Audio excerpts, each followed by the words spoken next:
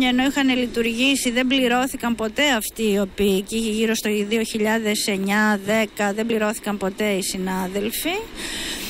Ε, τώρα ελπίζουμε εντάξει.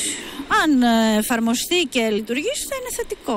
Αν ε, έχεις την ενισχυτική διδασκαλία, θα πας φροντιστήριο. Ε, δεν ξέρω. Λογικά δεν θα πάω γιατί αφού μπορώ να το κάνω δωρεάν εδώ, γιατί να πάω. Επειδή στο φροντιστήριο πιστεύω πως μαθαίνεις περισσότερα πράγματα και μάθεις και καινούρια, θα διάλεγα το φροντιστήριο. Και η δικιά μου γνώμη, το φροντιστήριο είναι πολύ καλύτερο από την ενισχυτική διασκαλία. Στόχος της αντισταθμιστικής εκπαίδευσης είναι η κάλυψη γνωστικών κενών, καθώς και η προετοιμασία των μαθητών που ετοιμάζονται να δώσουν πανελλαδικές εξετάσεις και δεν έχουν την οικονομική δυνατότητα να απευθυνθούν για επιπλέον βοήθεια σε κάποιο φροντιστήριο.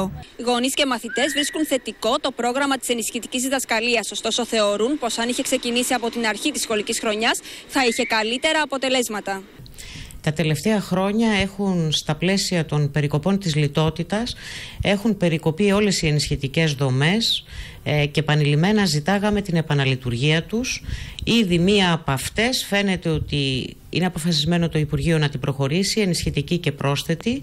Θεωρούμε όμως ότι πρέπει να οργανωθεί με έναν πολύ καλό τρόπο και προφανώς απαιτούνται κονδύλια. Το πρόγραμμα θα χρηματοδοτηθεί από το ΕΣΠΑ με πιστώσεις ύψους 7.723.000 ευρώ.